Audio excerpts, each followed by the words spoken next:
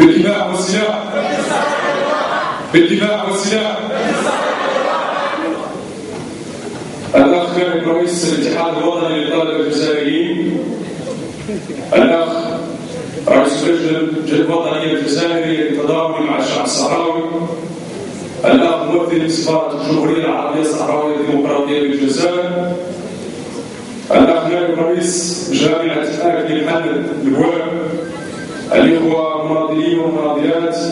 الاتحاد الوطني للطلبة الجزائريين مكتب الوالد رفاقي ورفيقات المناضلين اتحاد الطلبة الجزائري الحرارة الذهب وعودة الجزائر. اسمحوا لي بداية أن أتقدم باسمكم جميعا إلى هذه الجامعة الضيافة ومن خلالها الاتحاد الوطني للطلبة الجزائريين فرع الابواب على استضافتهم لهذا الحدث التاريخي الذي في الحقيقة هو حدث مزدوج. نحن اليوم نخالف سوية الانتفاضة الطلابية الجزائرية حينما هذا الطلبة الجزائريون إلى أن يولوا بظهورهم إلى مقاعد الدراسة الملتحقين بالثوار في الميدان هذه المناسبة التي تتناسب صدفة مع ذكرى 20 ماي 1973 والتي هي بالمناسبة ذكرى اندلاع الكفاح المسلح بالساقية الحمراء والغذاء. ذلك الكفاح الذي كان يؤطره ويخطط له ويسيره الطلبة الصحراويين الذين تركوا مقاعد الدراسة والتحقوا بمواقع الفعل والنضال هذه الذكرى التي يمر تمر بعد أربعين سنة من التضحيات الجسام التي قدم شعبنا خلالها الغالية والنفيس. نتذكر اليوم هذه الذكرى المزدوجة والتي من خلالها نريد أن نعبر للطلبة الجزائريين ومن ورائهم الدولة الجزائرية حكومة وشعبا على امتناننا واعتزازنا بهذا الموقف المبدئي والغير قابل للتصرف. الموقف الذي شهدناه ولا نزال وسنبقى من الدولة الجزائرية التي حينما اجتاح الاحتلال المغربي أرضنا وبدأ يقتل أبناءنا ونساءنا وأمهاتنا لم يجد شعبنا إلا الجزائر. حينما فتحت حدودها لتستضيف الأطفال والنساء والشيوخ وبفضل ذلك تلك الإضافة وذلك يعني الاحتضان استطعنا أن نفتك شعبنا من القبلة ومن القتل ومن التشريد. ها هو نحن اليوم نخلد هذه الفكرة المزدوجة نخلد مآثر الشهداء تضحيات المقاتلين الأبرار لكي نقول سوية بأن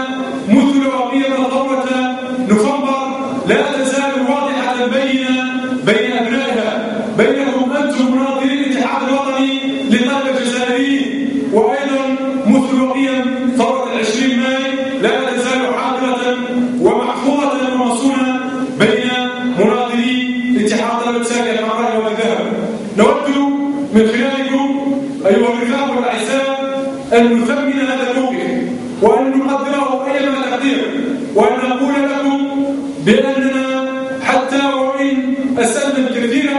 من كلمات الشكر والتقدير والاحترام إلا أننا لن نستطيع أن نفي هذا الموقف حقه وسنبقى دائما محتفظين بذلك الجميل الذي أسديتموه لنا ولا تزالوا وستبقون هذه الذكرى التي تصادف الاحتفالات تأسيس الجبهة الشعبية لتحرير سامية الأمر الثالث رائدة الكفاح ومؤطرة الشعب واندلاع الكفاح المسلح هذه الفكرة التي نعتقد بأنها حدث تاريخي بامتياز في مسار كفاحنا المعاصرة حيث التهمت جموع الشعب الصحراوي قادمة لكي تعلن القطيعة مع التشرم والتقسيم والتشتت إلى أن تنقلب في موتقة الجبهة الشعبية لتحرير اليوم نتذكر تضحيات وتضحيات آبائنا وأمهاتنا المؤسسين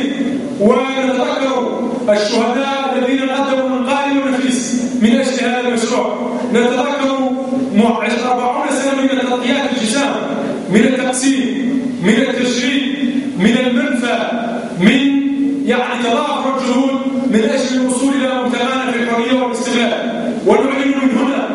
من أرض المليون ونصف مليون شهيد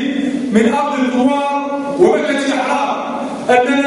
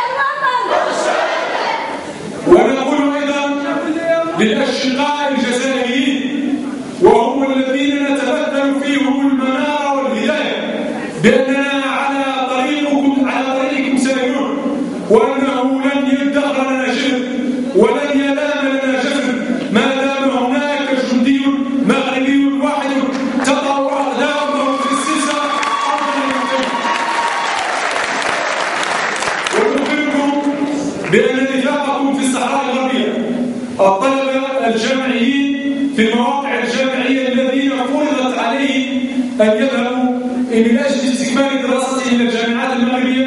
أنهم يعانون الأمرين لدينا الآن أربعة طلبة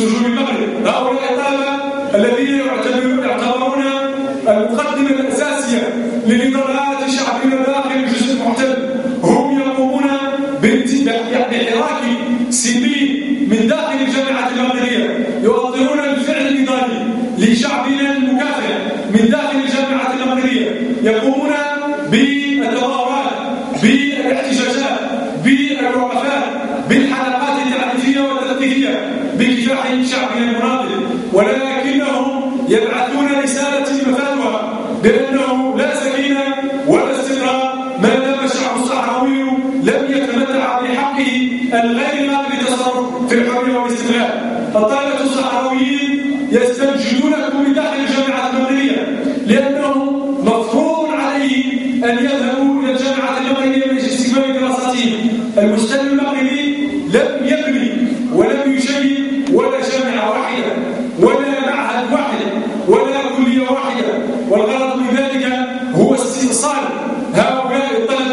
وضحاها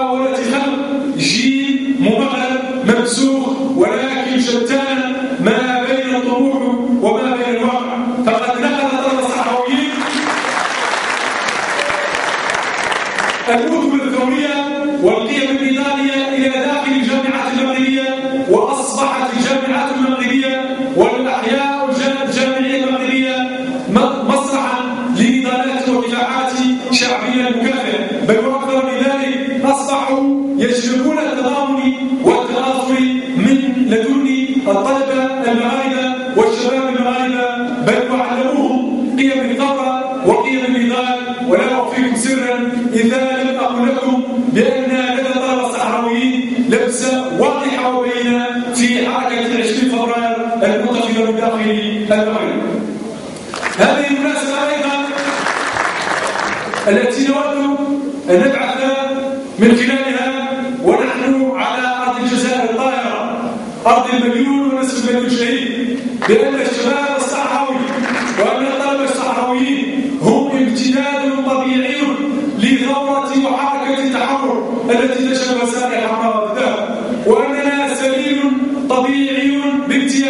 إلى نضالات شعبنا المكافئ سواء في مناطق المحتلة أو في السجون المغربية أو في مخيمات اللاجئين أو في الشتات. ومن هنا نعلن بأننا لن ندخر الجوع وأن حياتنا ووقتنا ودراستنا وإمكانياتنا